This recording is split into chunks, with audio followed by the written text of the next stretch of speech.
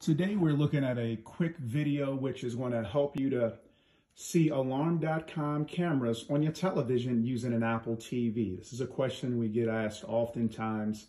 Uh, individuals, in addition to an app, when they're at home, they like to have something at a glance. So this will work with any alarm.com cameras, excluding the front doorbell, but any of your internal and exterior cameras. So what we want to do is, uh, with your Apple TV remote, you want to navigate to the App Store. We've already done that. And now we want to download the alarm.com app.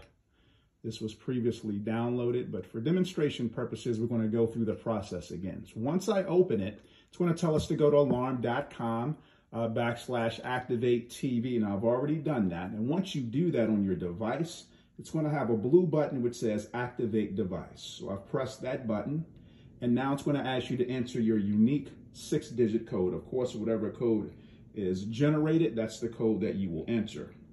We've entered that code, I've hit submit. Uh, momentarily, we're going to see our cameras come up. It really is that simple. Many people have Apple TVs and they didn't realize that this was available, so I can scroll through and click on whatever it is that I would like to see at this point in time.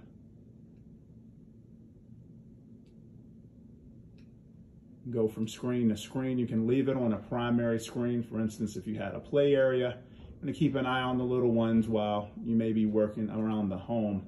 Again, this is a simple process.